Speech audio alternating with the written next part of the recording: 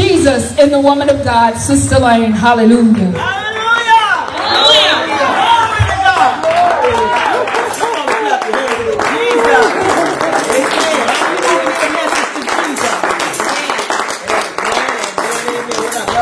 We don't have to go, amen, to another part of the country or another part of the world, amen. We don't have to go to the secret chambers. We can just go them walking, standing, laying prostrate, kneeling, amen. Just as long as we talk to Jesus, He's not far off, amen. He's Amen. God at hand. Hallelujah. Hallelujah. Thank you, Jesus. Amen. Amen. I thank God for the precious gift of the Holy Ghost. Thank you. Thank you. Thank you. Amen. I'm you know we could be doing anything right now. But I'm so glad to be in the house of the Lord. But because I thank you for the testimony. Then, you know, sometimes it to be something spoken in your life to make you fight. Yes. Amen. To make you fight. Yes. To make you say, I'm not going to back up. I'm not going to give in. Mm-hmm. It's okay to be stubborn, amen, when you're stubborn against the work of the enemy. Come on, Amen. Amen. Yes. Hallelujah. I thank God. You're here tonight because you told the devil, I'm not going to quit. You know you done been at the borderline, amen, ready to step your foot over into the land of no return. But God didn't let you do it. Thank you. Amen. It's because we have hope. Without hope, amen, we would have stepped over there. All right. Amen. If I can do nothing else or say anything else tonight, I want you to know that Jesus loves you. Amen. Somebody said in the old school, and I use that phrase a lot, old school, talk is cheap. Amen. Anybody ever heard that phrase? Talk is cheap. The Bible said, be careful. What you say, you sneer by the words of your mouth. It's very important. What you say. Amen. We're learning that as a body of people, a body of believers.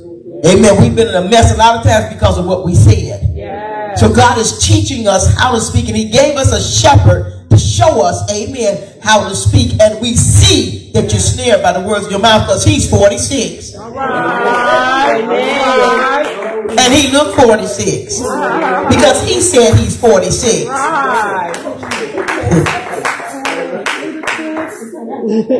I had a, a program that I was trying to put on for my husband. I'm going to give this little testimony. Everybody forgive me for my sins, all sins forgiven. Amen. You snared by the words of your mouth. Amen. Everybody's sins forgiven, known and unknown. Glory to God. Lord, have your way in this service. Minister to every need. Break and destroy the heavy yokes. And lift the heavy burdens. Lord, cause the eyes of the blind to come open. The ears that are dull of hearing to hear what your spirit is saying. Lord, use my vessel for your glory. God, I move out of the way that you can have your way in this service. In Jesus' name. Amen. But I, I was a program that I wanted my husband to watch, and I'm going to tell you how my husband is. Amen. I have to just put it on without really telling him. You know, the Spirit of the Lord speaks through him often. So, you know, if you put a movie on for my husband, he'll be done told you the end already. And if it don't end up like he wanted, he don't want to see it. So what I have to do, I just put it on. I don't give him no warning. I just put it on. And generally, his testimony is this. He'll start out and he's watching it, and I look over and I say, Are you are you listening? He sleep. It's like a five minute sleeping pill for him. If he make it five minutes through a movie, it's a miracle. He doesn't do that. But this particular night, I was tired. I don't even know if I made it five minutes through the movie. But what I do know is that when I woke up that morning, because I try to be careful what goes in my ear, what's in the atmosphere. Amen.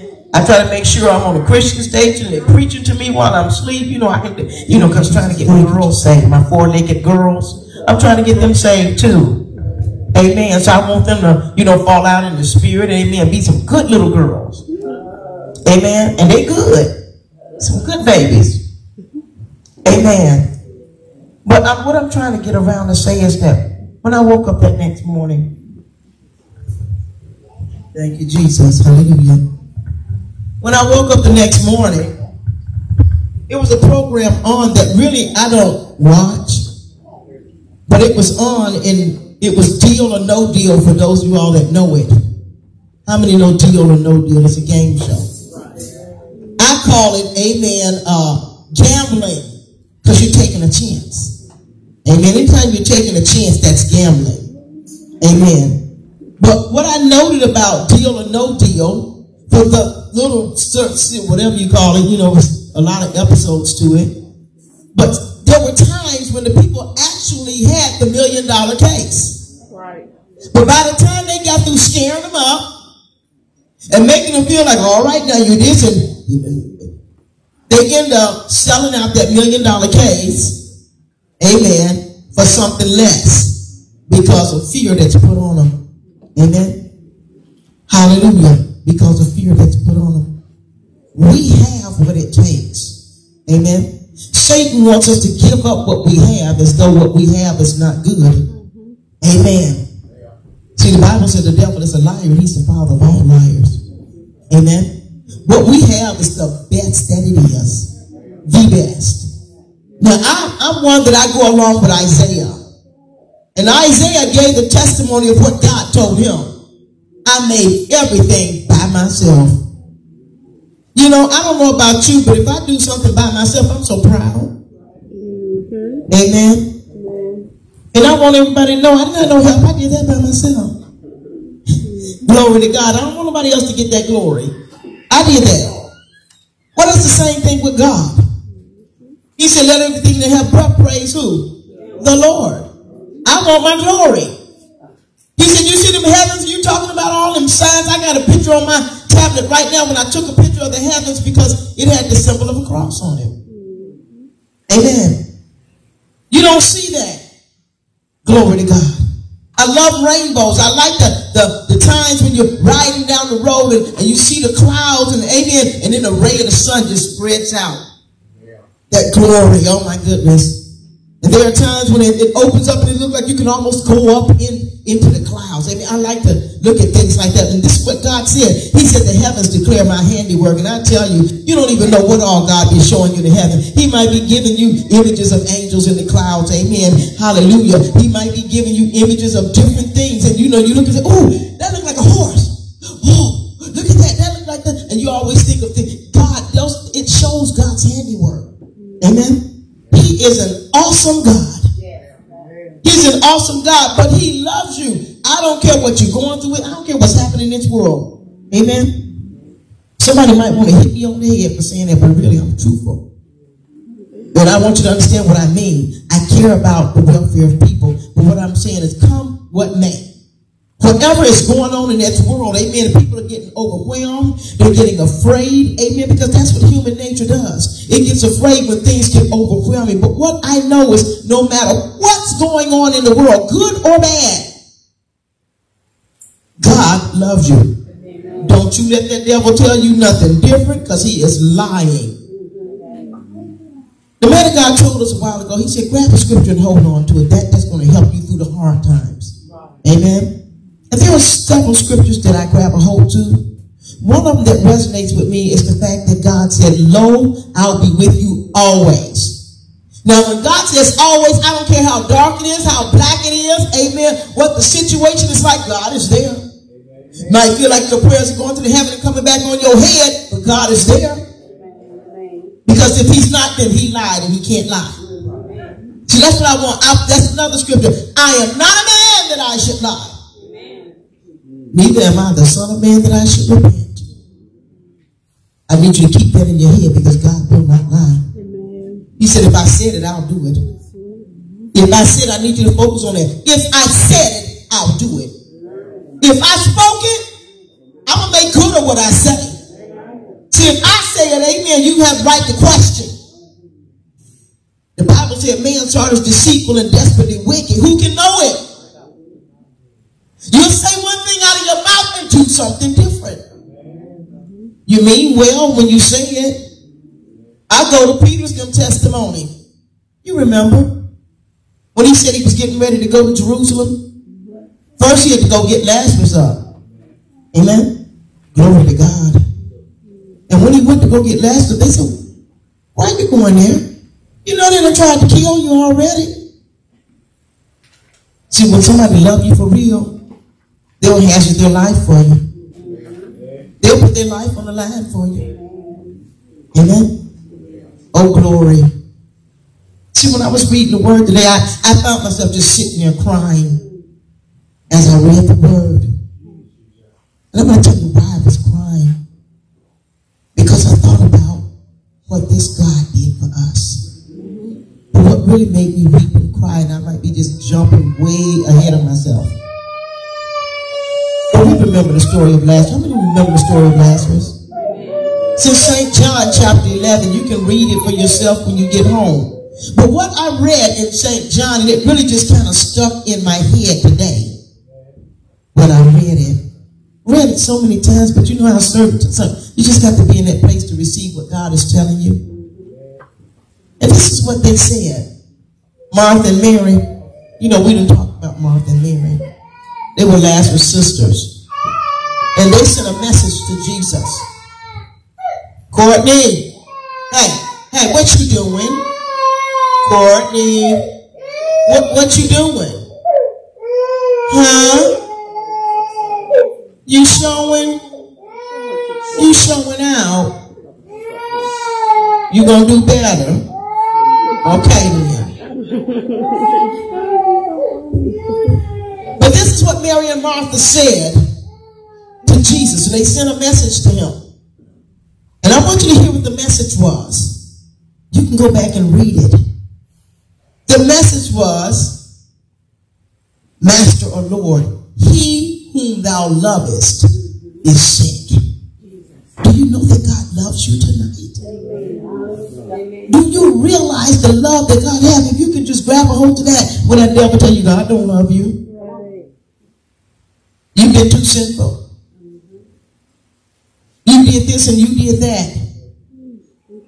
I'm jumping all over the place. If I forget to come back, you remind me. But this is the message I've been telling people. We have been in captivity. We have been in bondage, and the Bible tells us in Isaiah 14 that Satan himself opened not the house of his prisoners. Who were his prisoners? The people of the unbeliever, the wicked as well as the righteous. They were prisoners in hell because there was nobody on this earth who could live a sin-free life that could die for the sins of the world. You see, in order to die for the sins of why would anybody have to die for the sins of the world anyway? Because man failed. Man disobeyed God. We remember the scriptures in the book of Genesis. You know, God spoke to Adam. And he said, Adam, don't, don't touch it. You can have, you can eat whatever you want. You can have whatever you want. Eat from any tree in this garden that you want. But it's only one tree that I'm asking you not to eat from. And that's the tree of the knowledge of good and evil. What was next to the tree of the knowledge of good and evil? The tree of life. They were both in the midst of the garden. They were right smack dab in the center. Now you imagine he could have walked right next to the tree of the knowledge of good and evil and took from the tree of life. He could have walked all around it, amen, but he could not touch the tree of the knowledge. Knowledge of good and evil. Amen. And then he added this to it. If you do, if you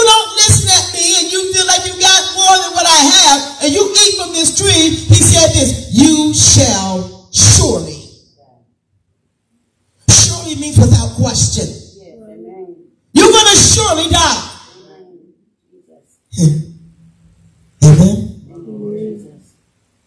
You shall surely die. And the Bible says Satan, just like he does today. Amen. I don't know, and I'm not trying to get in your personal business. But if there's anybody, I'll put it that way. If there's anybody in this place that knows what it is to be in bondage to nicotine, you'll know, amen, that there's a mentality that you have. You're in captivity. But you're saying the devil got you out. You can get off when you get ready. You can quit when you get ready. You're not bound. I'm going to tell you something. You'll know when you're bound when you read on the package that says warning, I'm going to kill you. And you can't stop taking it. You can't stop using it. You'll know when you're bound when that habit that you have is destroying you inwardly and your body is going to tell you that you're being destroyed. Before a man announces, hmm, we did the x-rays and we see that you have cirrhosis of the liver. Amen. You felt that thing cutting your breath off. You saw the warnings. But you couldn't quit. Why?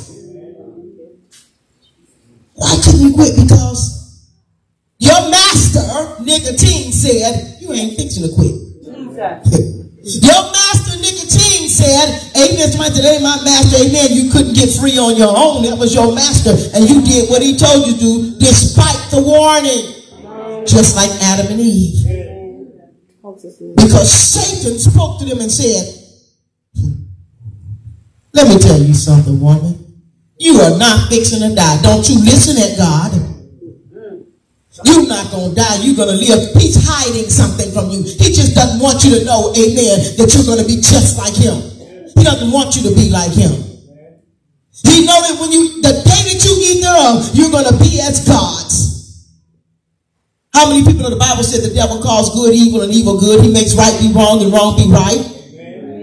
He wants God to be wrong and him to be right. Amen. Whatever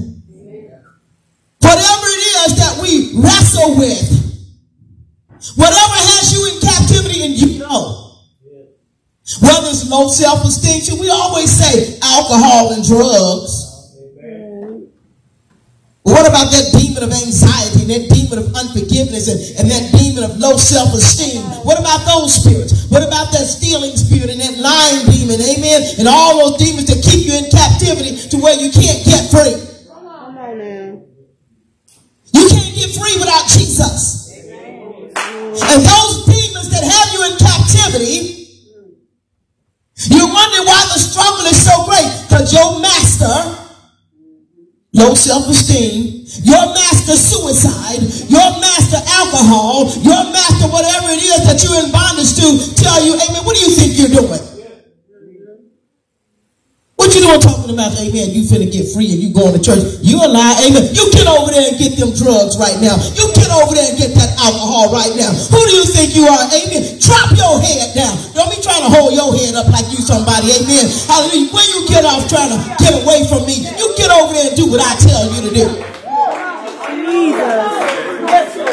Because that's what it's like when you're bound by a habit, whatever it is. What you doing up here trying to tell the truth? You get over there and tell a lie. What you doing talking about? You go, amen. You forgive them and release them. You don't forgive them. They did you wrong. Amen. You keep, amen, unforgive. What's wrong with you? Get over there and do what I said. That's what those spirits, that's what they do. And you're wondering why you can't get free. Oh, you skipped the day of smoking. Amen. What do you think you're doing? You ain't you get over there and do double this time. Get that pack of cigarettes, amen. Overlook that morning and you do it. You see, that's what the devil told Adam and Eve. What you doing listening to that God? He's lying to you. You're not gonna die. You get over there and eat that fruit. What he wasn't telling them is release me so I can destroy you. And when they ate from that forbidden tree, amen. And I say this. Just as soon as somebody say no, your flesh want to do it. Amen. Amen. God said no. But that demon of deception, that lying demon said, Oh no, I'm telling you the truth. God is lying to you. How many people know when they ate from that forbidden tree, they felt death? Amen. The Bible said their eyes came open to the knowledge of good and evil, and guess what? They're doing something they had never felt the need to do before. They're hiding from God. But you see, this God, see, don't try God. God told them, we remember the story about manna. He said, you can go out every day and you can pick it, but just don't, don't say nothing for tomorrow. I'm going to provide for you every day. This is what God is telling us today. I'll meet your need every day. You're of more value than, than any flower, than any bird. Amen. They're not working. You don't, these birds don't have no job. But God provides their food. We hate to hit animals in the road. So the Vern told me your son hit an animal. He didn't want to hit that animal and mess his car up. But guess what? God was feeding somebody else. God was feeding other animals. Amen. God provides for his. He's a provider. He's a comforter. That devil, all God's a lie. He can't do all that by himself. He needs some help. Amen. You looking for God for comfort. You, you don't look to God for comfort. Amen. Nicotine demon said, you get over there and get that cigarette. You're going through.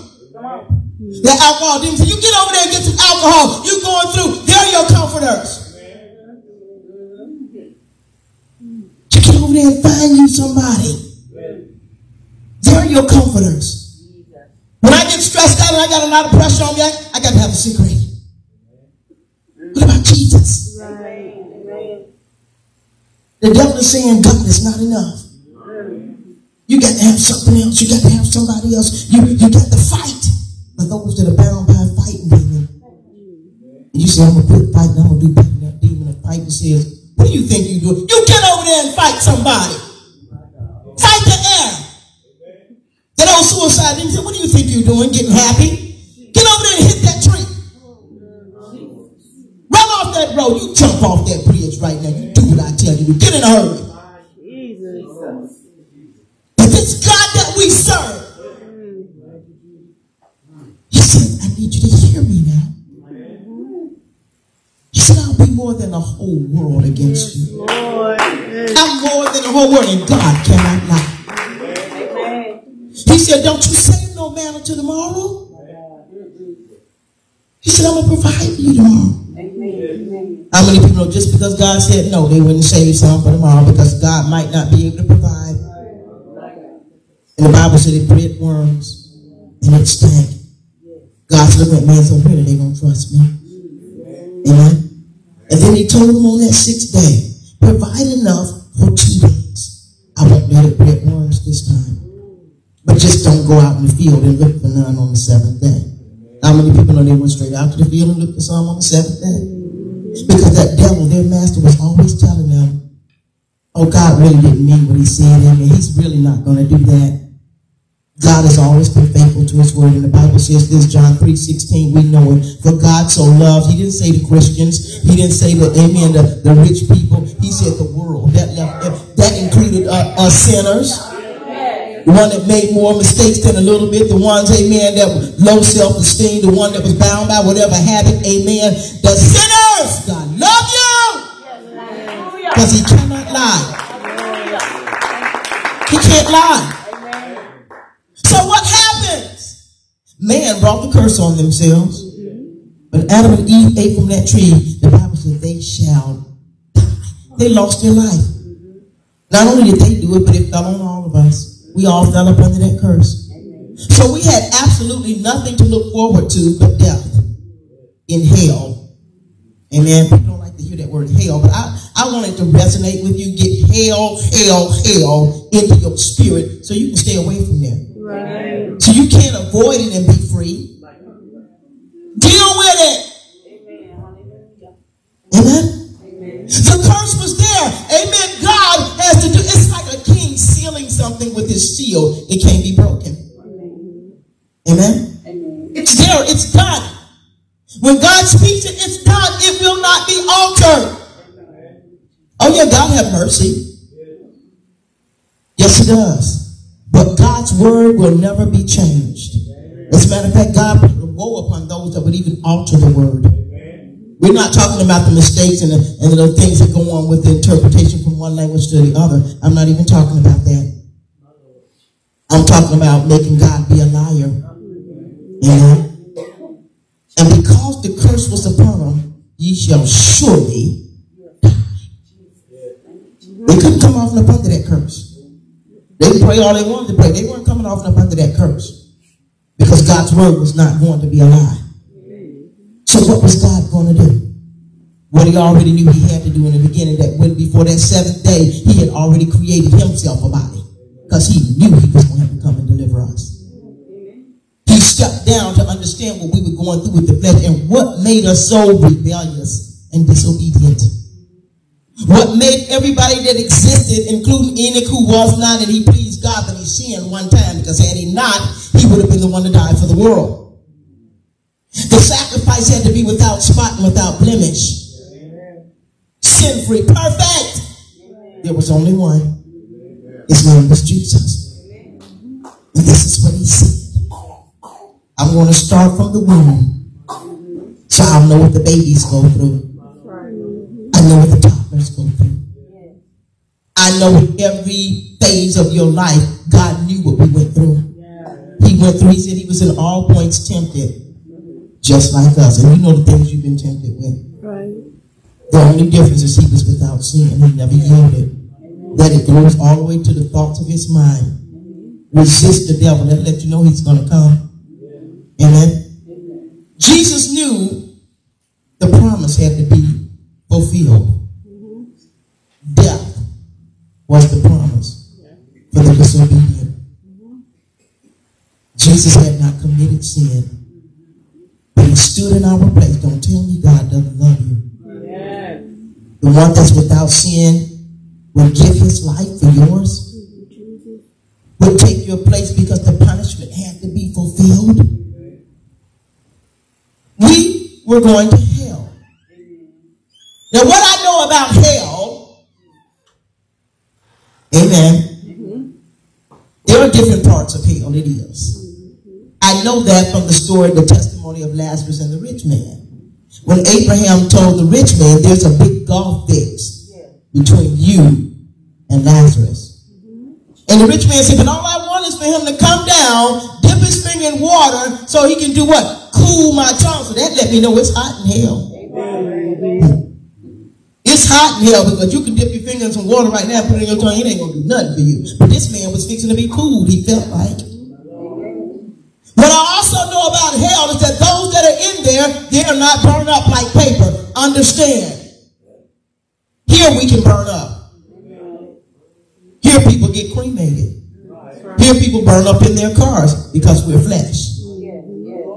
But in your eternity, you have a glorified body.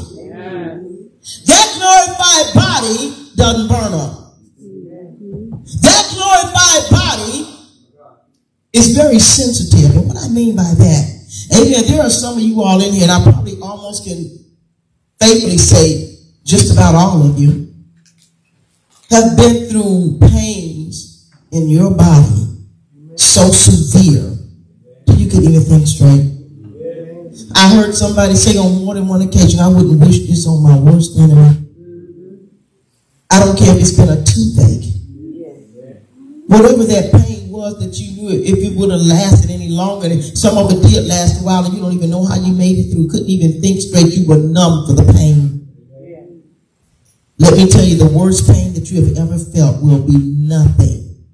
It's a drop in the bucket compared to the pain that you feel in hell. How do you know that? Because the Word of God tells me in hell, with their glorified bodies, there is weeping and gnashing of teeth. That's what I know about hell.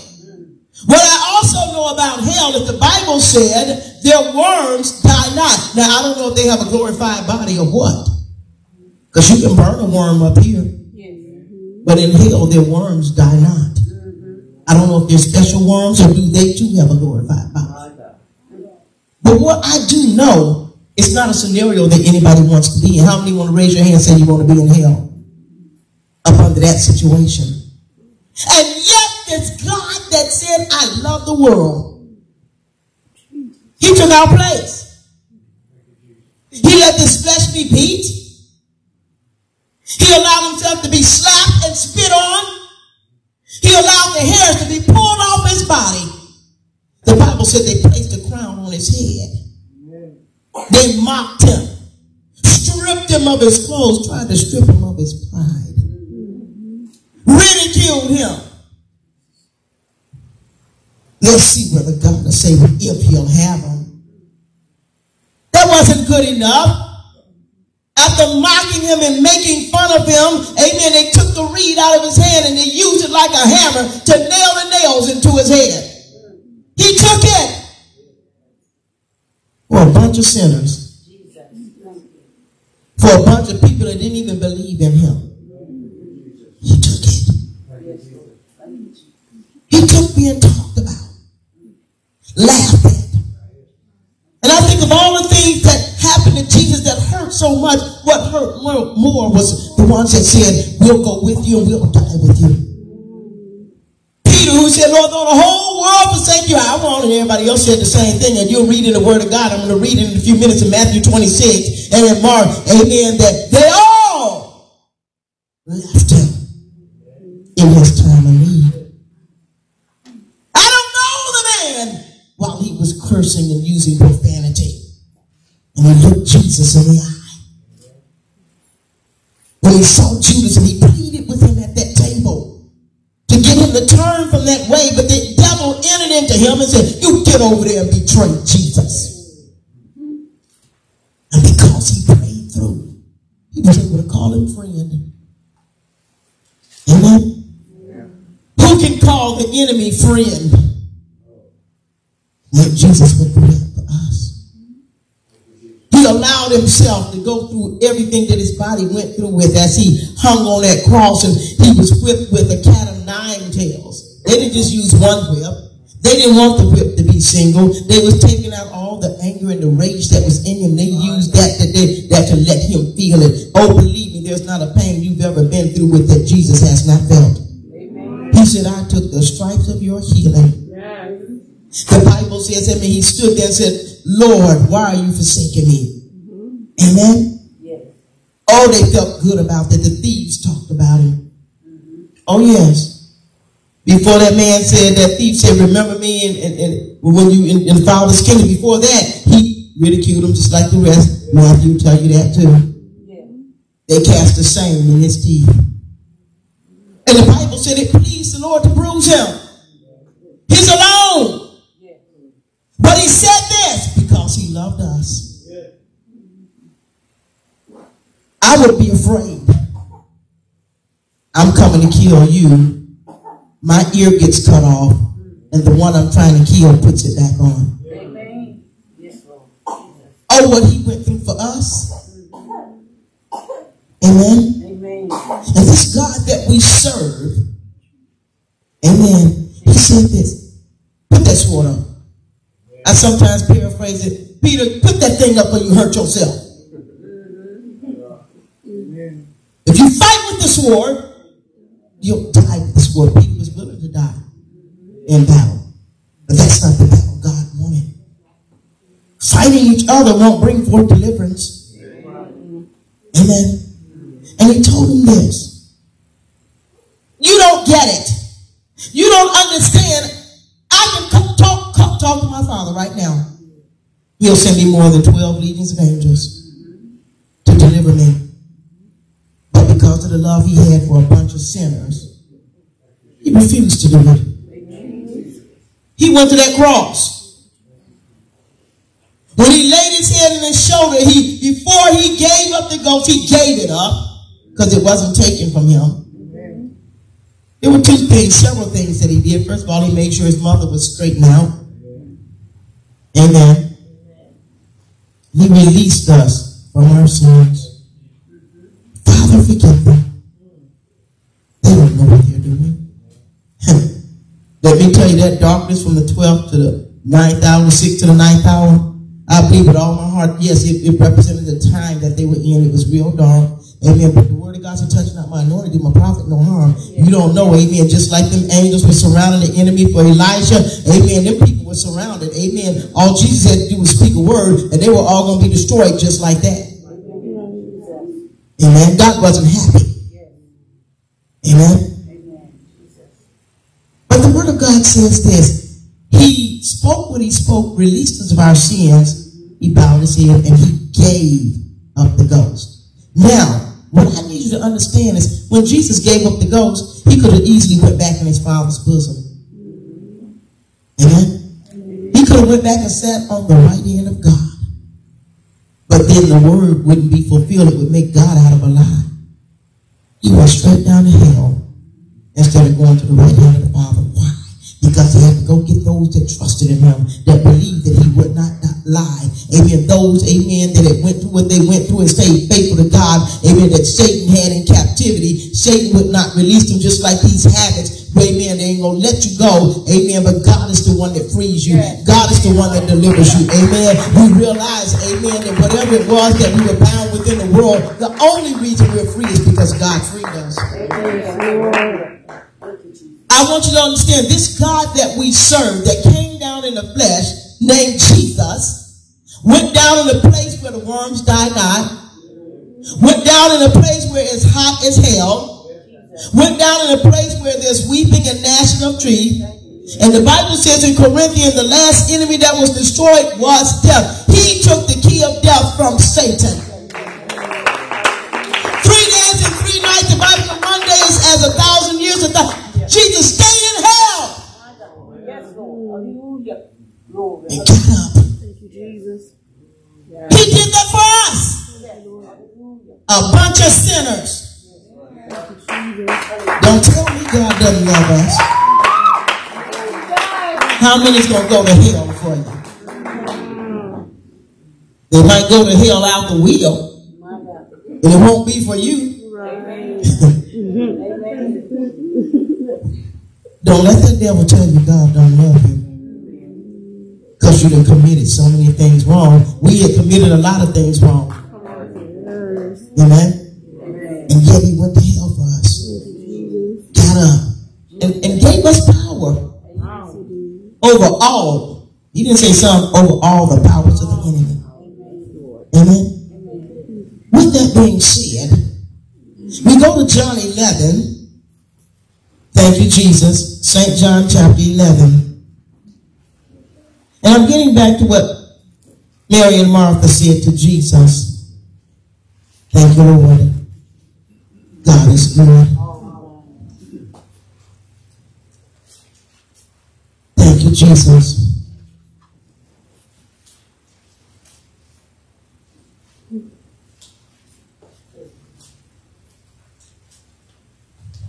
Jesus. Now a certain man, 11 and 1, was sick, named Lazarus of Bethany, the town of Mary and Martha, where Mary and her sister Martha. Notice what he said in verse 2, to give you clear understanding, amen, of what God was doing. I love the Lord Jesus. Verse 2 says, It was that Mary which anointed the Lord with ointment and wiped his feet with her hair, whose brother Lazarus was sick. Amen. It was that Mary.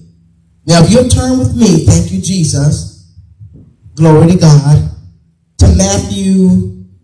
No, I want to do Luke 7. The book of Luke, chapter 7. We're going to come back to John. But go to Luke 7. Thank you, Jesus. We're going to expound on Mary and Martha and Lazarus. this is what the Word of God says. Luke 7, verse 36. Luke 7 and 36. And one of the Pharisees desired him that he would eat with him.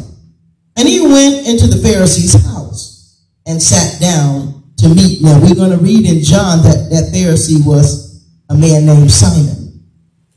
But right now it just says one of the Pharisees invited him to come to his house. Now, he invited Jesus. He didn't invite Jesus' posse. Come on, people of God. I want you. I don't want your children. I want you. I don't, I don't want your companion. I just want you. Amen. Amen. And the Bible says this, verse 37, and behold, a woman in the city, her name was Mary. But notice what it says about her, which was a sinner. When she knew that Jesus sat at meat in the Pharisee's house, brought an alabaster box of ointment, and stood at his feet behind him. She couldn't even raise her head up. She could feel all them darts going in her back. She stood behind him weeping and began to wash his feet with tears and did wipe them with the hairs of her head and kissed his feet and anointed them with the ointment. Now when the Pharisee which had bidden him saw it, he spake within himself. He didn't even say it out loud, but he said within himself, saying, This man, if he were a prophet, would have known who and what manner of woman this is that toucheth him. She's a sinner. And Jesus answering and said unto him, Simon, I've something to say to you. I have something. We know his name is Simon. I have somewhat to say unto thee. And he said, Say on, master. There was a certain creditor which had two debtors. The one owed 500 pence and the other 50. And when they had nothing to pay, he frankly forgave them both. Tell me therefore, which of them will love him most? Simon answered and said, I suppose that he to whom he forgave most. And he said unto him, Thou hast rightly judged. And he turned to the woman and said unto Simon, Seest thou this woman? I entered into thine house. Thou gavest me no water for my feet, but she hath washed my feet with tears and wiped them with the hairs of her head. Thou gavest me no kiss. But this woman, since the time I came in, have not ceased to kiss my feet. And he wasn't talking about no funny perverted kiss either. Verse 46, my head with oil thou didst not anoint. But this woman hath anointed my feet with ointment. Wow. Amen. Thank you, Jesus. Glory to God. This is what it says. I'm jumping ahead of myself. Thank you, Jesus. Here, wherefore, verse 47, I say unto thee, her sins which are many, many. She had many sins. Her sins which are many are forgiven, for she loved much. But to whom little was forgiven, the same loveth little. And he said unto her, Thy sins are forgiven. And they that sat at meat with him began to say within themselves, Who is this that forgiveth sins also? And he said to the woman, Thy faith have saved thee. Go in peace. Go back to John 11. This same Mary who anointed the Lord with ointment and wiped his feet with her hair, whose brother Lazarus was sick. This woman, that was a sinner whose sins were forgiven, but this is what she said.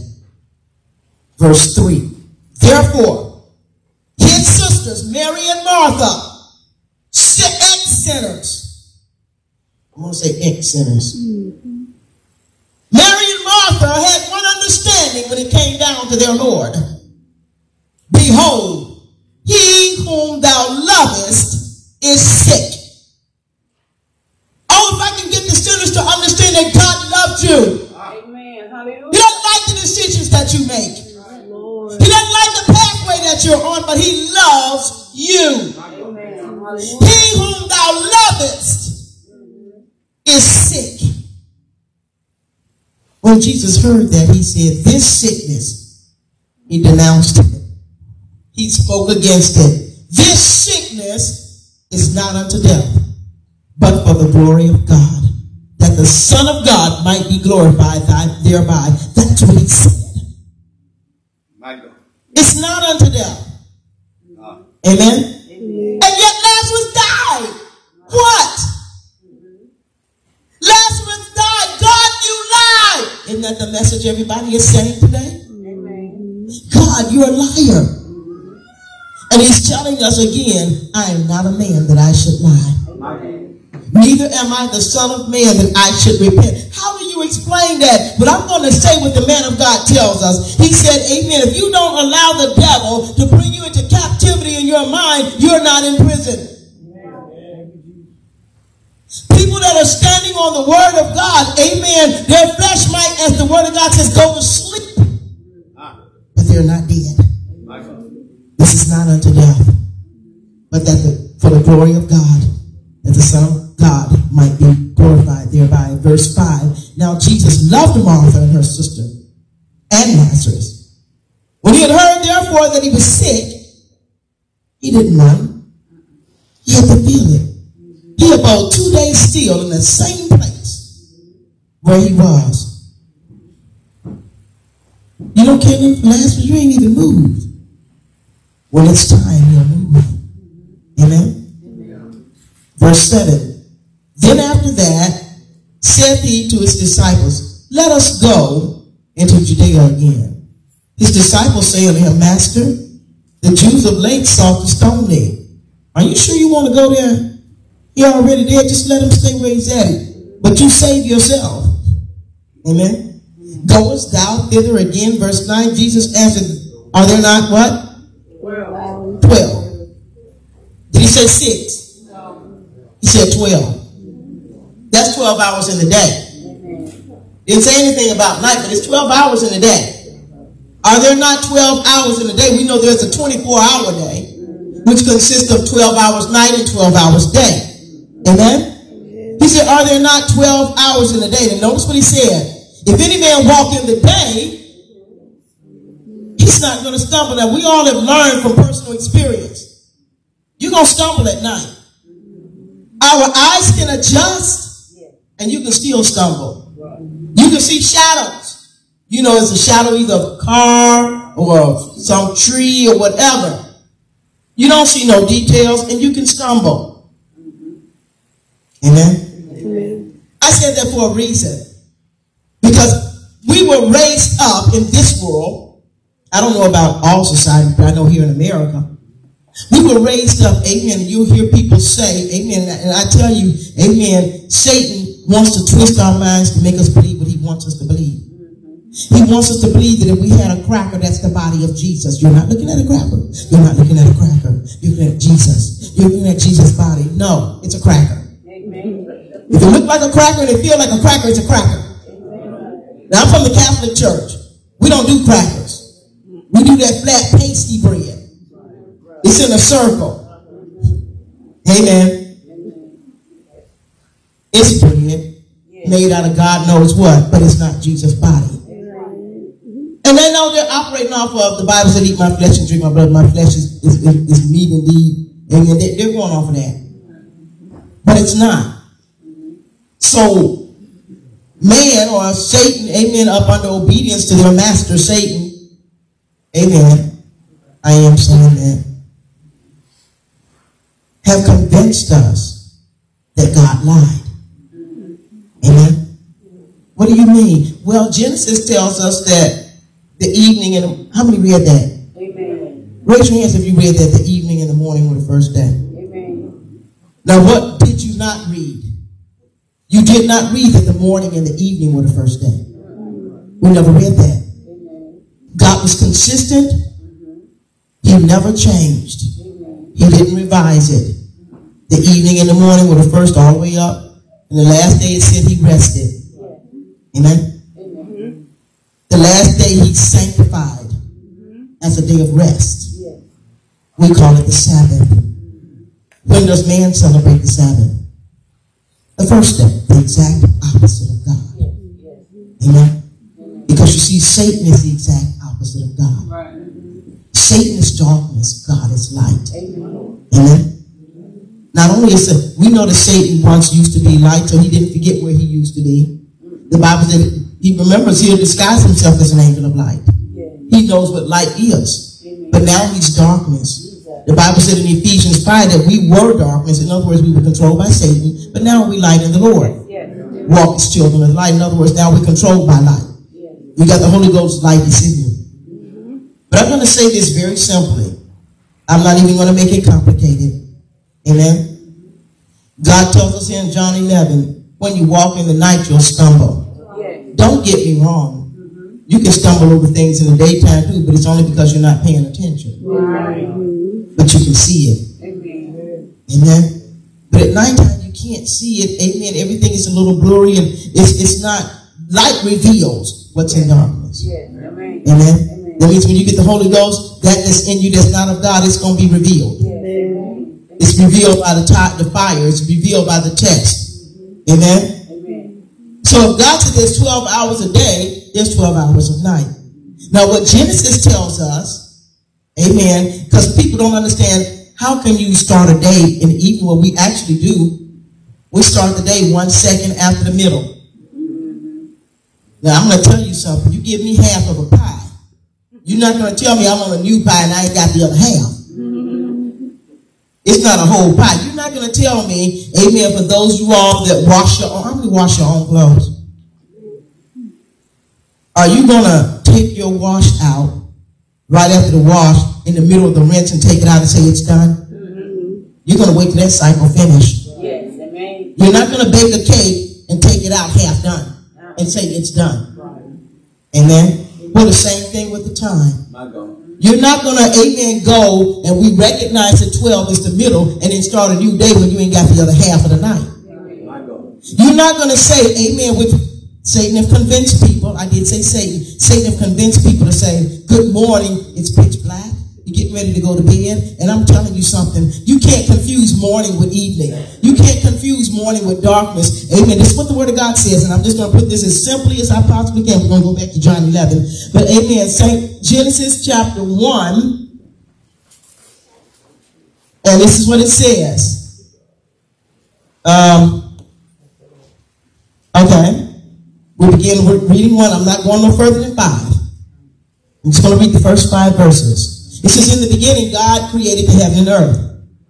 Amen. Now, in my Bible, God is with a capital G and it doesn't have an S on the end, which means one God. Amen. God did it all by himself. He didn't have no help. But he, he, he spoke his word and the word went out and did it. God created the heaven and the earth, and the earth was, it gives you a description of the earth in verse 2. The first thing it said about the earth is it was without form, it was empty, void of life, three, darkness. Amen. Darkness was here. Darkness was upon the face of the deep, which means water was here. And it says this, and the Spirit of God moved upon the face of the waters. Notice what it says in verse 3. And God said, let there be light. Was it ever a time that we read in the Word of God where God said, let there be darkness? Have anybody ever read that in the Word of God? That he said, let there be darkness? No, because it was already was already here. So since darkness was here first, it begins today. Then the light comes. Let there be light. And there was light. Verse 4. And God saw the light.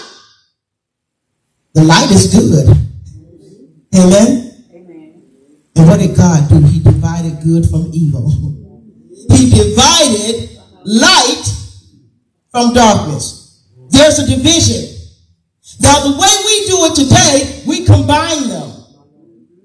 We start the evening at 6, and right smack dab in the middle of the evening, we call it morning. We combine, that's against scripture. There's a division between light and darkness. There's no agreement. One second after 12, it's not morning. It's still dark outside. It's still evening. Amen. Amen? This is what the Word of God says. God saw the light, verse 4, that it was good. And God divided the light from the darkness. And God, notice what he said in verse 5. I need you to focus on this. God called the light what? All light is day. As long as you see light, it's day. Then he said this. Thank you, Jesus. And the darkness he called night. One second after midnight is still night. One o'clock, two o'clock, three o'clock, as we call AM, is still dark. He called, amen, the darkness, amen, hallelujah, night. Amen. That's what God called it. Amen. He called the darkness night. And darkness received the word evening.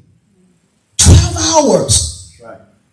Evening, not six, but 12. If we confess that 12 midnight is the middle of the night, you got another half of the night to go. Amen. So right now we would call this Friday evening. That's what we call it. To call this Friday evening and tomorrow Saturday morning, we're saying the morning and the evening were the first day. What are we doing? The exact opposite of what God said. He did not say the morning and the evening. If we make this be Friday evening, we put morning before evening. That's not what God said. He said, the evening. What am I telling you? If you can process it this way, when you wake up, whether you wake up at 5 o'clock or 6 o'clock or 7 o'clock, but when you wake up, half of that day is already over. It feels like a new day because the sun is rising. It's almost like spring. Oh, thank you, Jesus. The light, especially if you're going through when, when nighttime is hell to you when you're going through a delusion. We call it a delusion. The world calls it sickness. And you can't wait for the day. Day has great significance for me because for me, daylight means no more troubles, no more sorrows. You've entered into the rest. You can sleep when you're sick in the daytime. But at nighttime, you're being traumatized. The devil is beating the daylights out of you. You're afraid. Everybody else is asleep, and you are so alone. Yes. But when daylight comes, it's like new hope. Jesus was daylight in a dark time. Amen. A time when the people amen. They were afraid, amen, to even mention anything about the Savior, the God of their fathers, Abraham, Isaac, and Jacob. Amen. They were afraid to mention anything about God Almighty because they might be killed for it. And here comes this man in the midst of such a tumultuous time, and he's talking about he's the Son of the Father. He came to give life. He's giving miracles. He's speaking openly, and they are so upset with him. But the love that he had for us, amen, he Amen. And he said this work while it's day. But darkness comes when no man can work. Amen. He was talking about the last day. Amen. But back then, they didn't have inside lights like we do, electricity like we do. Amen. They, they did it differently. So they had to work from sunrise to sunset. Amen. Hallelujah. All of evening is night. And all of day. Don't don't let anybody and you know we didn't have a problem with it. Prideful people didn't have a problem with saying good morning at nighttime. They didn't have a problem saying that. Because Satan can take man's mind and twist it any way he wants. Amen. Colossians chapter 1, if you will. Thank you, Jesus. Well, let me finish before I go to Colossians. Let me finish reading John 11. And John 11, let's finish that up. Because I don't want to jump ahead of myself. Thank you, Jesus. This is what God says.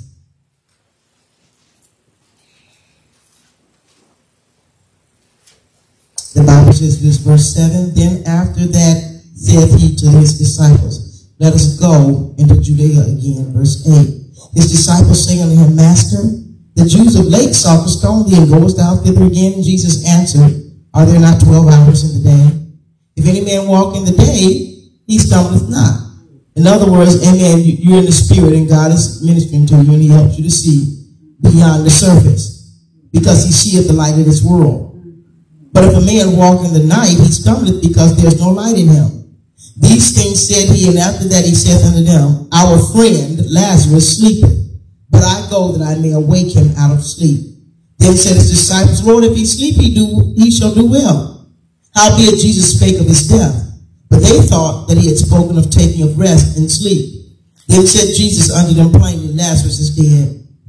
And I am glad for your sakes that I was not there, to the intent ye may believe. Nevertheless, let us go now. Then said Thomas, which is called Didymus, unknown unto his fellow disciples, let us also go, that we may die with him. And I'm going to jump down a little bit. Thank you, Jesus. Amen. He gets to where Lazarus is. Mary and Martha come to him. Amen. And he said this, verse 40. Jesus said unto her, Said I not unto thee, that if thou wouldest believe, thou shouldest see the glory of God. Then they took away the stone from the place where the dead was laid. And Jesus lifted up his eyes and said, Father, I thank thee that thou hast heard me. Amen. You heard me from the foundation of the world. And I knew everything is past. I knew. He didn't say I know. He said I knew that thou hearest me always. But because of the people which stand by, I said it, that they which may believe, that they, forgive me, that they may believe that thou hast sent me. And when he thus had spoken, he cried with a loud voice one time. This is what I say about God and Satan. They had already had a run in. God knew Satan. He knows how he thinks. He created him. Satan knew God. Not like he should have, because had he knew him right, he would have never, amen, got conspiracy going on in heaven. But one thing that Satan knew about God, first of all, a liar was not to carry his eyesight. So when God demanded of him, he told God the truth. He's a liar, the father of liars, but he know not to lie to God. Amen. I know that because when I read the testimony of Job, and God said, Where are you going? He just spit it out. he tried to speak in parables, but he put it out there. I'm just going to and the end, up and down the road. I know what you're up to. Have you considered my servant Job? Amen. But when God tells Satan, you go, remember, he told Job, amen, why? He told God, oh, Job is only doing that because it's not him. He might not be attached to people, amen. He might not have that type of love, but touch him, skin and bone. Amen. He'll curse you. He said, you do whatever you want to do with him, but you can't take his life. Satan wanted to take his life, but he couldn't because God said no. Mm-hmm. Amen. So here you are, and God speaks, or Jesus, if you will, speaks to that demon of death. And he commanded Lazarus one time, because how many people in that spirit knew what time it was? Come forth. He didn't do the one, two, three strikes you out. He did it one time and one time only. I don't know, there were times when my parents would say, I'm going to tell you this one time and one time only. Anybody had that experience? Those were good parents. he said, Lazarus, come forth. And he that was dead came forth, bound hand and foot with grave cloths, and his face was bound about with a nap. And Jesus said unto them, Loose him. You let him go. Now I said this this way. You can say that God was speaking to the people around there and telling them to loosen them bandages off of him, but nine out of ten, this is a dead man being raised to life. They probably wanted to run off and leave their shadow. Right. But I believe that the napkins obeyed God. Yes. Hallelujah. The grave cloths obeyed God. How can this be? Amen. Amen. Then many of the Jews, verse 45, which came to Mary and had seen the things which Jesus did, believed on him. But some of them went their ways to the Pharisees and told them what things Jesus had done. Then gathered the chief priests and the Pharisees and council and said, What are we going to do? This man doeth many miracles. If we don't say anything, if we leave him alone, all men will believe on him. And the Romans, what their main concern was, shall come and take away both our place and nation. And one of them, named Caiaphas, being the high priest that same year, said unto them, You know nothing at all, nor consider that it is expedient for us that one man should die for the people, and that the whole nation perish not. And this spake he not of himself, but being high priest that year, he prophesied that Jesus, thank God, should die for that nation. And not for that nation only, but that also he should gather together in one the children of God that were scattered abroad. Then from that day forth they took counsel together for to put him to death. Jesus therefore walked no more openly among the Jews, but went thence unto a country near to the wilderness, into a city called Ephraim, and there continued with his disciples. Notice what it says in verse 55. I want you to focus on that. And the Jews pass over. Did it say the Gentiles? This is a Jewish feast. It's not an American feast. It's a Jewish feast. The Jews Passover. Did it take Easter?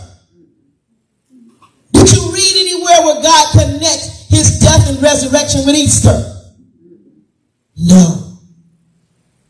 He was the Passover that was to be sacrificed for the sins of the world. This was the time of the Passover and the feast of unleavened bread. With this feast comes a Sabbath at the beginning and a Sabbath at the end. That didn't count the seventh day Sabbath.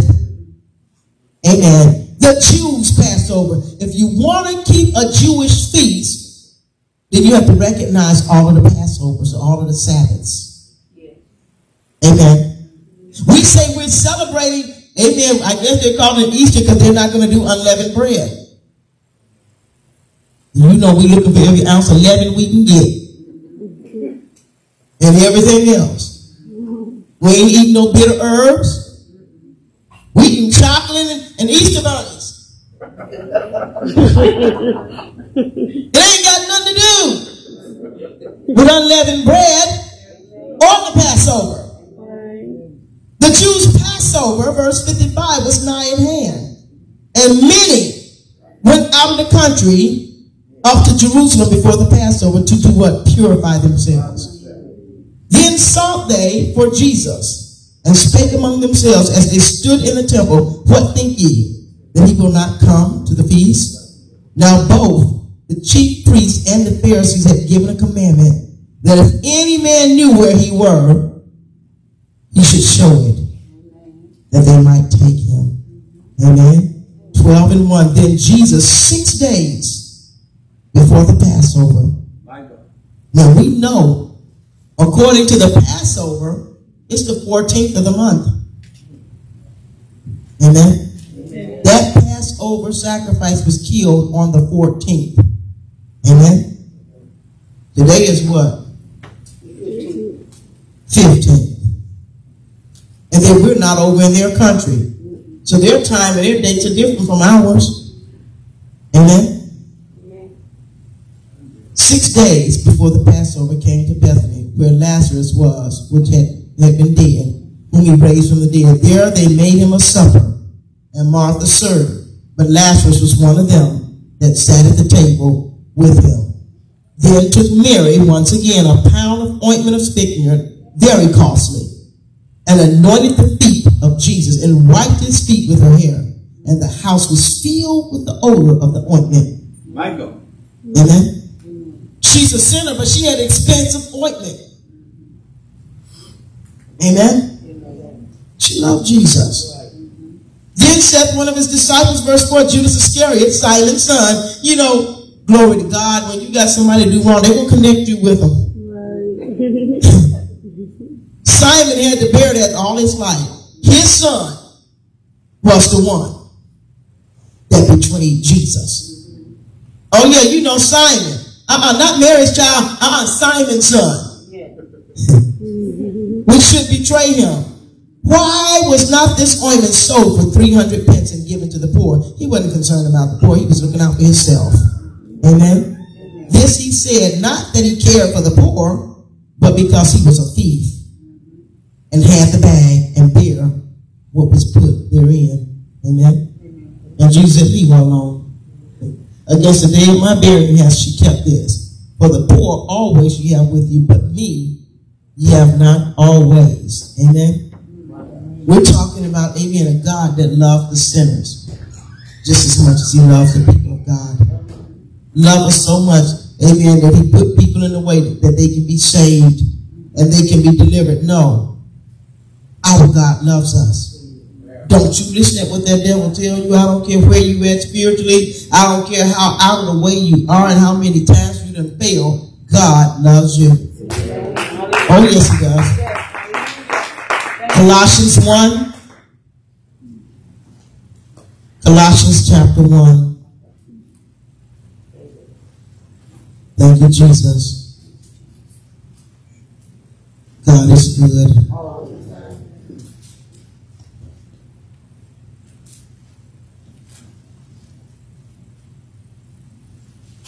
Thank you, Lord. Verse 21. And you, speaking to us, I know he's talking to the Colossians too, but us too. And you, notice what he said, that were sometime alienated and enemies in your mind by wicked works, yet now hath he reconciled in the body of his flesh through death to present you holy and unblameable and unreprovable in his sight. You that were alienated by wicked works, he gave his flesh to present us holy and unblameable. Romans 5, if you will. Romans chapter 5. Thank you, Jesus. Very familiar scripture. Thank you, Jesus.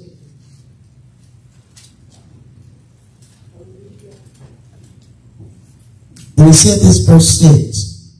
For when we were yet without strength, in due time, Christ died for the ungodly. God not love the ungodly and yet die for them? For scarcely for a righteous man will one die. Yet peradventure for a good man, some would even dare to die. But God, He put His money where His mouth was. He didn't just tell us that He loved the world, but He said God commended His love toward us in that while we were yet sinners, Christ died for us. Much more then, being now justified by His blood, we shall be saved from wrath through Him. For if when we were enemies, we were reconciled to God by the death of his son, much more being reconciled, we shall be saved by his life. So the only problem that some people have is that if they don't believe that Jesus is alive, then salvation they can't receive. But for those that believe Jesus' testimony, that he's going to sit on the right hand of the Father, and if they believe the testimony of Stephen, who said, I see the Son of Man sitting on the right hand of the Father, and they believe that he is very much alive, then salvation is for us. I need you to understand that Jonah got out the will of God. Amen. And when he got out the will of God, he did something very foolish. Amen. He brought God on man's level. And what I mean by that is, amen, Did we serve a God that's in all places at all times. Yeah. So you can't run from God. He see you. Amen. Amen. He wanted to run from God and he found himself in a digestive process in the side of a whale. Now, I need you to know God was in that whale with him. Now, my understanding is it takes three days to digest food, especially meat. Three days. How long was Jonah in the belly's whale? I mean, the, the whale's belly. Three days.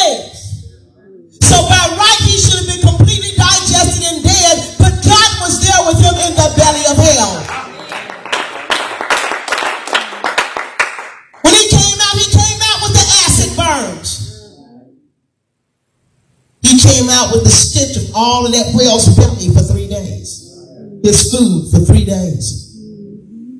You ever get sick on the stomach? It could be an hour later. Amen. And it smells so horrid because it's already going through the digestive process. Can you imagine what Jonah smelled like three days later? He doesn't even know how he survived it because God was in that belly, the belly's the whale's belly. God was there. Him, but he was keeping him. Isn't that something? How many people have been chasing and kept at the same time? Don't tell me God doesn't love you. When he chased his people, he was raising up a deliverer. Mercy. Yes. God loves you with all your mistakes and all your flaws. God loves you. He went through much so that we can have hope this time of year. We rejoice around what man calls Easter because we think about all that God did for us. Amen. Amen. Easter's mentioned one time in the Bible. Acts 12. Read it with me. Thank you, Jesus. You can't even look up a definition of Easter and see anything in it that has anything to do with Jesus' death and resurrection. Amen. Amen. It, there's no connection. Feels good to our flesh, but there's no connection. Amen. Thank you, Jesus. 12 and 1. Now, about that time, Who was an unbeliever and a sinner, a pagan worshiper, the king stretched forth his hands to vex certain of the church. And he killed James, the brother of John. That was one of the ones that said, let us sit the one on the right and on the left, with the sword. And because he saw it pleased the Jews, he proceeded further to take Peter also. Then, notice what it says, then were the days of unleavened bread. He didn't say those were the days of Easter. He said those are the days of unleavened bread. Mm-hmm. Now you read the account of unleavened bread in Exodus 12, you're not going to find Easter. Amen? Mm-hmm. And when he had apprehended him, he put him in the prison and delivered him into four quaternions of soldiers to keep him intending after what? Easter. Easter.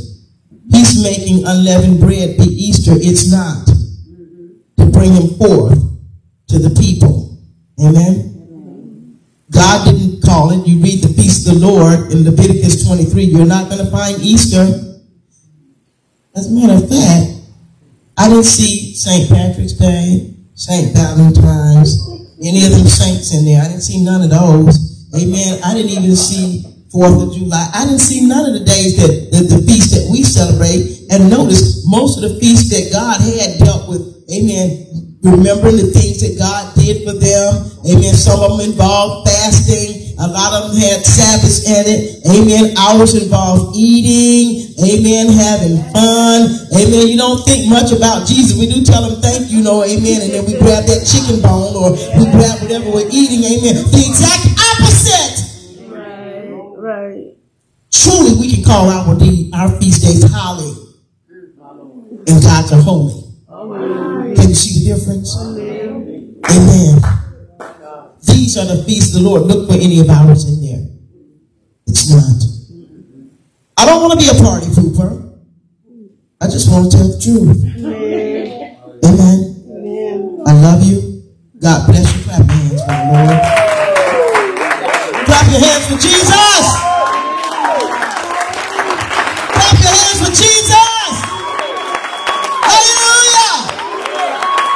To see the man of God. Hallelujah.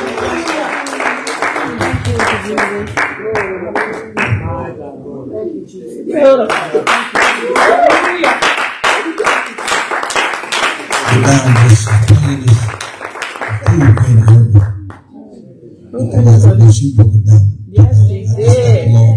Yes, you did. for, the word tonight. I thank God. Uh, God's people. Yes, we are. Amen. I, He loves us. I might not look like the rest of them folks, but I'm his son too. That's right. He loved me just like he loved them. But I love so much about it. After Jesus came, being the second man out, then he, you know, the Bible said that first man was on the earth earthly, but the second man came from glory. That's right. That's right. And, and, and, and he's the Lord from glory. Yes. And he came loving everybody. God, amen, got upset about the people that he made because nobody would, you know, just follow his demand. Uh, everybody want to go their own way. And the Bible said, amen, he said, my spirit will not always strive with me. But then, because of Jesus, because of the word, amen, when he decided to destroy man off the face of the earth, his own word said, if you'll prepare me a body, make me a body, I'll go down. Because he knew that it was always about an offering, a sacrificial offering. He always knew that, amen, had to be some type of goat, uh, some type of lamb, or some type of animal had to lose their life. And the blood that, you know, that whatever was the sacrifice, they always pull it aside and, and make sure that it never was touched by the op- opposite sex. sex. Amen. He made sure that, amen, he would put it in a safe place that it wouldn't be touched and nothing. And then they would take that animal and they would give that, they would kill, they would slay that animal. And they would take the blood from that animal. They would do whatever God would sprinkle, you know, uh, different things, even Bible said they, uh, almost everything was sprinkled with the blood. But then Jesus being the second man out, what I love so much about him, amen. He, they did him just like they did the, the, the animal. They took him outside of town and did what they wanted to do to him. But you know, he sat down at the Passover with his disciples. And he just sat there with them and he broke bread with them and he loved on them. But he said this, I won't eat nor drink of the fruit of this vine. Until I drink it new to my Father's kingdom. Right now, children of God, He's shaking it with us. Right now, I'm telling you, man, when the Spirit of God begin to fall, amen, He's, he's shaking it with us. You know, on the day of Pentecost, when He came, He came, amen, doing exactly, He didn't pass over no more. He stopped in. Are you listening to me? He told us this. He told he told his mother, "said Woman, what am I to do with you? My hour not yet come." He told his disciples, said, "Y'all eat this because this is the Passover." And they ate it. He broke the bread and gave it to them. But when it was time for him to suck off the wine, he said, "I won't drink of the fruit of this vine until I drink it new to my Father's kingdom." And then he said, "So you go pray, our Father." because he's just not my father. He's your Father too. So pray our Father, which art in heaven, meaning He's your Father and my Father. Pray our Father, which art in heaven, hallowed be thy name. I need your kingdom to come. Thy kingdom come. Mm-hmm. And they did exactly what he told them to do. They had a problem with it at first. But the Bible said when he was walking along with them, the Bible said he was taken up out of their sight. A cloud received him up out of their sight. And the Bible said when that cloud received him up, the Bible said he was standing, gazing into heaven. And the angel said, Why stand ye gazing into heaven? The same Jesus, I feel the Holy Ghost right now, that is taken up from you shall come in like manner as you see him grow up. Go do what he told you to do. Go wait till you be do it with power from on high. And the Bible said they went not and not over, but they went up into the upper room. And when they got up there, they began to pray. They only prayed one prayer. They did what Jesus told them to do. He told them to pray. And you, they, they, they, they wanted to pray. They, they wanted to pray. You know, you, when you hear people praying, you want to pray like them. So the Bible said they heard John the disciple praying and, and, and, and they said, Jesus, teach us to pray as John taught his disciples. He said, you don't need that, son. So all you need to do is pray, our Father. Everything is fit to change now. Which art in heaven. Hallowed be thy name, thy kingdom come. Thy will be done in earth as it is in heaven. And they went up in that upper room, they began to pray on the first day that they entered in. I believe it was about the whatever day it was, the Bible said on, on the 50th day, the power of the Spirit fell on them. So it had to be about the 40th day. But anyway, they was in that upper room praying the same prayer, Our Father. While they was praying Our Father, Jesus was standing before the Father.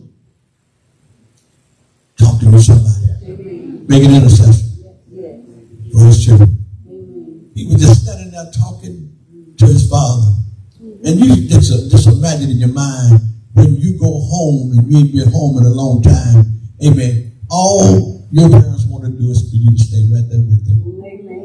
Can't you just imagine how God felt having his word back with him? But guess what? His word has stayed down here too long.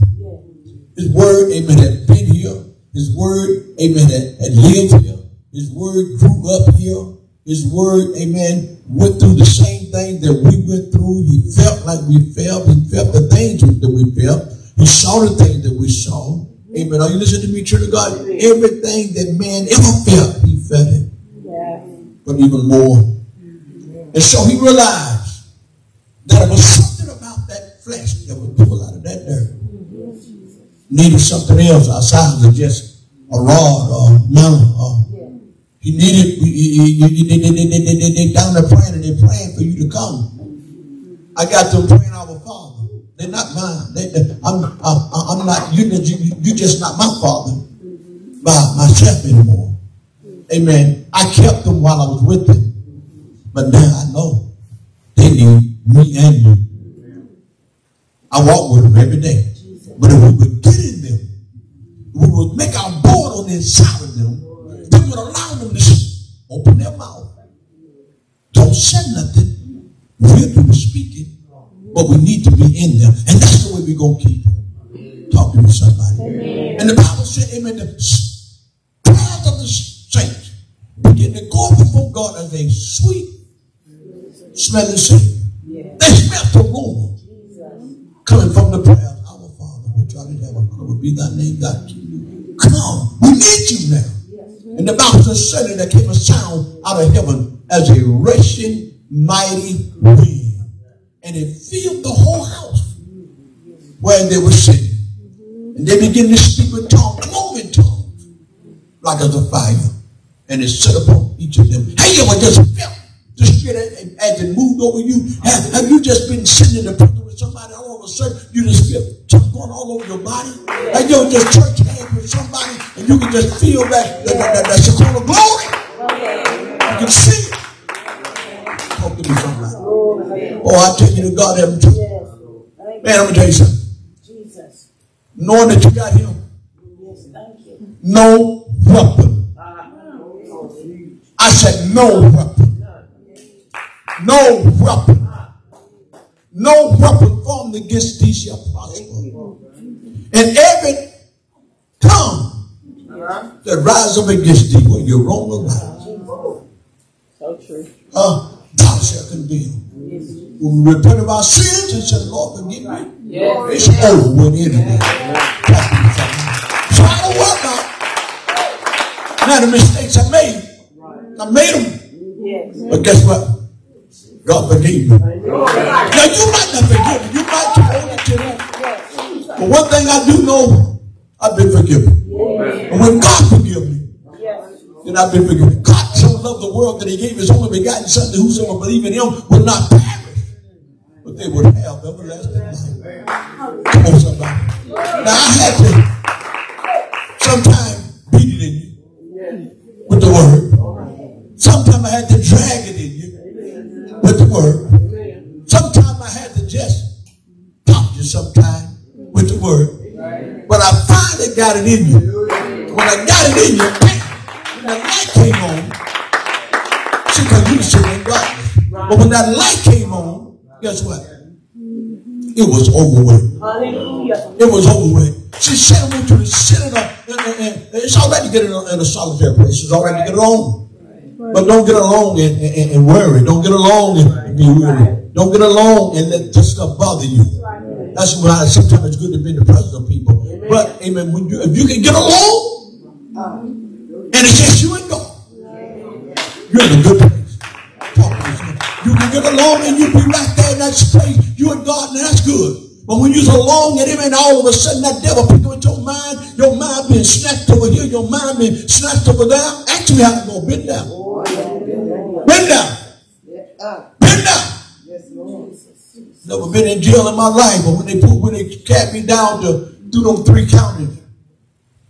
Brother Nate, you remember? Yes, sir. Took me through three counties in Atlanta, Georgia. One, two, three. Cabin took oh, field out there. And, and they drilled, they drilled me that night. Poor good God Almighty, but I was fasting. When you fasting, oh, that'll help you. I was already fasting, the Spirit of the Lord was already upon me, and I said, Lord, I thank you. And boy, as long as I was in the Spirit, I was Mr. Muncher. I was, I was bad. But when I got home that night, when I got home, I couldn't sleep. But when I walked back out that next day walking that pulpit, I was bald like a barking dog. But this is what I said. And I was in the spirit. I said, the person that did this to me, God said it had been better for them to have a millstone tied around their neck and cast into a, a lake of fire. Mm-hmm. Amen. And what they did to me. We was in a revival, 21 days, fasting, seeking the Lord, preaching every night. But guess what? I was okay as long as I was in the spirit. But amen, at night, I would lay my head down, try to get a little rest. And I was I would wrestle all through the night. She would try to hold me and try to comfort me. You will be all right. Because guess what? When I left that room with all them guys, I told them, I said, look here. I said, nothing never been on these arms before. You're going to do what you need to do it right now. If not, I'm out of here, sir. But I'm going to need the scripture. Amen. Whoever told this lie did what they did The mess with this revival.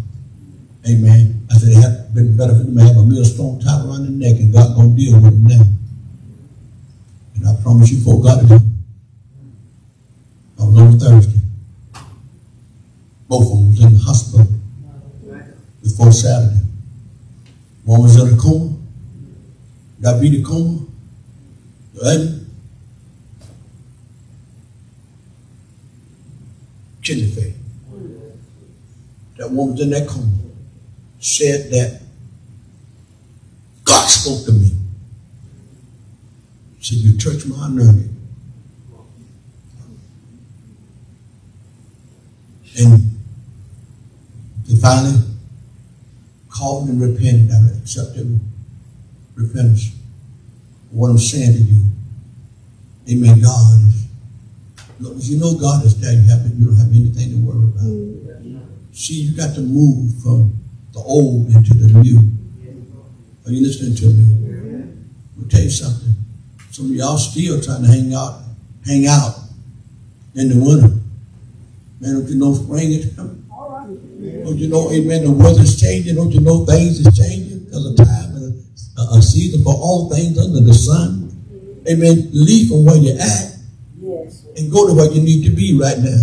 And that's in God. Are you listening to me? I thank God for the word tonight.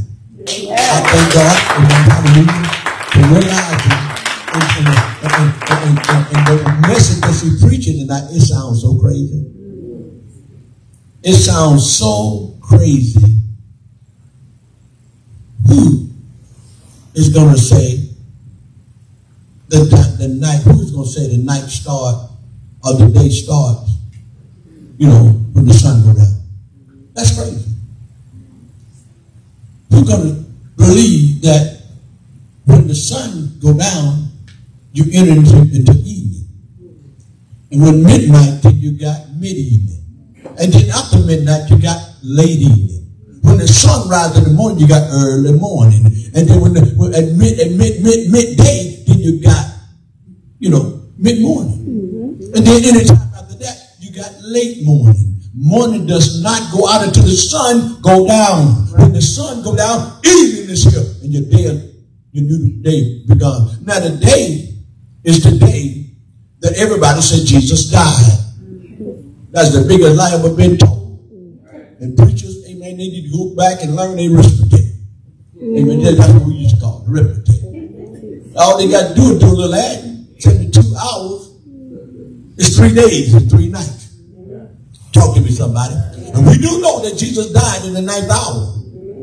That was at 3 o'clock in the afternoon. We believe and know that a sometime between the, the ninth hour, which is 3 o'clock in the afternoon, and, and between the 11th hour, which is 5 o'clock in the afternoon, talk to me somebody.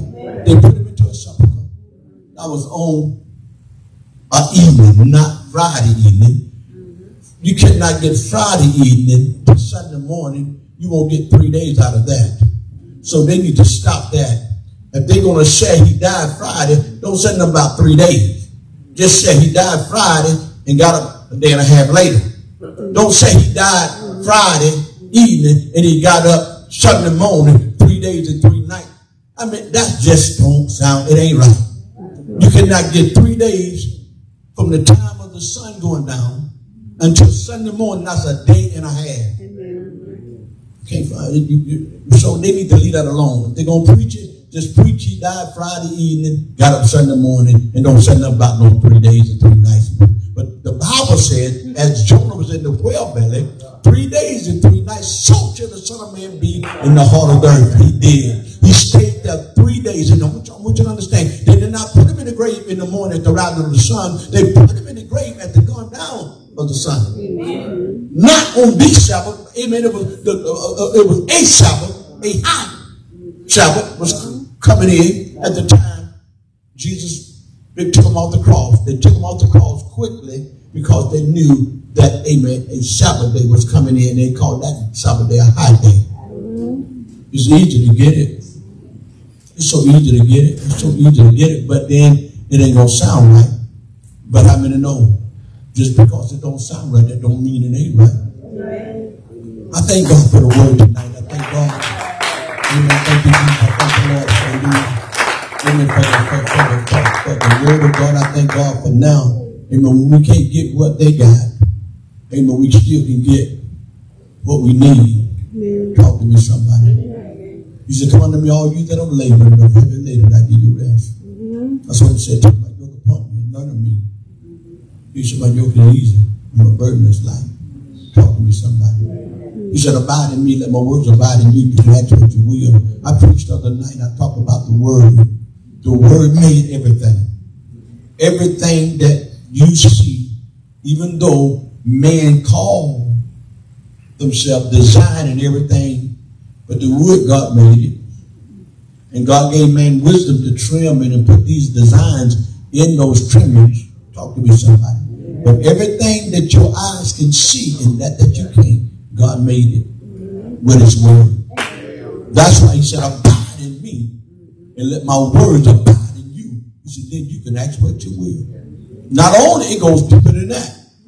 Amen. Not only can you ask, but you can speak out of your mouth because God gave you the power to speak His word. Are you listening to me? To speak His word. His word is, is forever settled. His word is powerful. His word will get you in. Words will get you in a mess. Words will get you in a mess. Words can get you in a mess. I remember there was a man that I loved real well. Not in no funny way, but I knew God was, He gave him to me for the, to be a part of this ministry. But you know, he kept lagging back, kept lagging back, kept lagging back. He'll come every now and then, you know, and then he'll finally, you'll send him home. He'll get up make all them vows, and we're going to get in, and the Lord really bringing us your way. Then next thing you know, you don't see him no more. But one night, he came here and said in the service, like he said that tonight. And he came and said, Apostle, I need to speak with you. And he did. And listen to me since that night. He ain't missed very many services. But when he came, he came, he was in a situation, a bad situation. He saw no way out of it. Not only did he didn't see no way out of it, but he even just told on himself. Forgive me for my sin. But being who God called me to be, I said, before he left that night, I said, Jesus said your sins is forgiven. It's over with, sir. He didn't see it. He didn't see it at all. Made him feel better that night. He went home, but when he left out his door, got to go down that road, well, he got the, he was back tormented again. But every time he walked through those door, I dropped that word back on him every time. Drop it right back on. Drop it right back on. He'll feel all right, but I, I can see the weight falling off his body. I saw him go from, from, from I don't know what your weight was, sir, but when you, when I looked around, your pants were falling off of your coat. Days later, he began to go down so bad. But I kept dropping it on him. Are you listening to me? And I saw that he was getting what he needed while he was here. But he couldn't hold it. When he left, he would go through again. Until that one day, I was preaching, and pride was on so bad. I walked into the aisles, I was preaching up under the anointing of the Holy Ghost. And I came back, I said, get on my back, sir. But I was, I was that pride hit him so hard. And I spoke with authority, said, get on my back right now. I, he jumped on my back and he, and he got halfway up, then I yanked him up, then I brought him to this altar and dropped him down right here. And, dropped him down right there. And I slid him off my back, put my arm around him, and began to minister to him. When he got up that time, he got up, really believing. And I told him,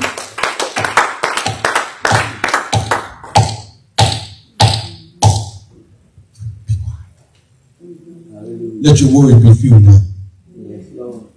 I said, God said, be slow to speak, slow to hear, very slow to wrath. And guess what? He went in, thought it was over walked out scot free. Let me tell you something. She told me and take it. Then so is that man. It worked. Well, better that is. It's over. with. It's over. Been waiting on that pour. I put up there. I, can rock, run a scarlet dog right now. But I feel the power of God when it hit. It exploded just then. I promise you in Jesus' name. I said hallelujah. It happened. It happened right then and right there. Oh, Sister Lord, Jimmy. Deep. But guess what? We're gonna walk by. We walk with faith. It ain't what they said. We walk by faith. Faith moves God. Faith moves God. Faith moves God. And the Bible said the prayers of the righteous availeth much. And I, said, my words might not be like your one. My words might not be like theirs on TV. But I promise you, for God in heaven, if I tell you, can stand on. I might use grease and nothing sometimes. I might say, be over to your house. We somebody be over there. We we somebody be on after a while. But I promise you, for God in heaven, whatever I say, I'm not trying to be funny. Well, I'm not going to lie to you. But sometimes we can't see it, and sometimes we don't even feel it. But we don't walk by feelings. We don't walk by sight. We walk by faith. And I got to say it tonight. Are you listening to me? Because they, this is Good Friday. Thank God for it. They named this Friday Good Friday. But I thank God for yesterday. It was Good Thursday. And I thank God for that day before then because it was Good Wednesday. And I thank God for the day before then it was Good Tuesday. And I thank God for the day before then it was Good Monday. And I thank God for the day it was Good Sunday. And I thank God for the Sabbath. Amen.